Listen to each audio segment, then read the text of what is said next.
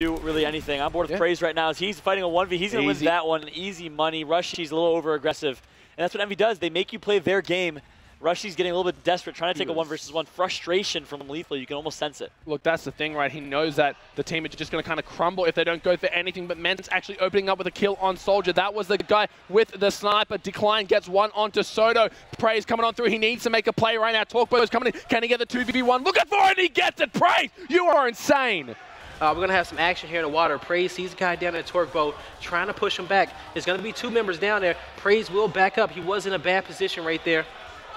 Yep, bad position, but he knew he could back out. And the big fight's going to go down low side. It looks like Enemy is trying to execute a three down low push, make that a four down low push. Kenny needs to revive his teammate, but the crossfire comes in from Envious. Can Praise go off? He gets one, he gets two, he gets three. Praise Z, you are the absolute greatest player in this game. Is. Gonna hop on board here. Let's give uh, let's give Praise some love to see if he can bring his team back in this, John. Here we go. On board with praise. If anyone's going to do it, it's going to be head. Look at the, the pistol team fire. They know that they have explosive full red here. Are they going to opt for a push? They decide not to. To know that franchise is trying to get boom here. And look at Praise. Praise on the very aggressive flank here. He's going to try and catch Kenny off guard. He downs one. Can he take the 1v2? Praise is the absolute greatest. He gets a huge double kill with his teammate Soto. What a play by Praized.